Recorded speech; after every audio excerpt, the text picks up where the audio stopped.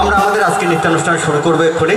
তার আগে আমরা আমাদের এই অনুষ্ঠান মঞ্চে দর্শকদের মধ্য থেকে একজন আমাদের কাছে অনুরোধ করেছিলেন, একটি আবৃত্তি করাবেন তার সন্তানকে দিয়ে। তাই আমরা মঞ্চে ডেকে নিয়েছি তাদের সন্তানকে অমৃষা দেবনাথ। একটি আবৃত্তি আপনাদের সামনে তুলে ধরবে, তারপর আমরা আজকের অনুষ্ঠানে প্রবেশ করব।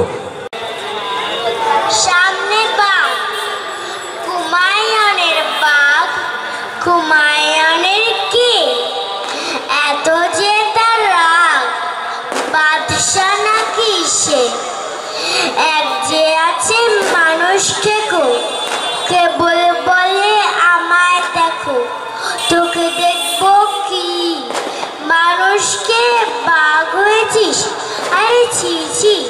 মানুষ খাবি মাগ না কেন রে তুই বাঘ?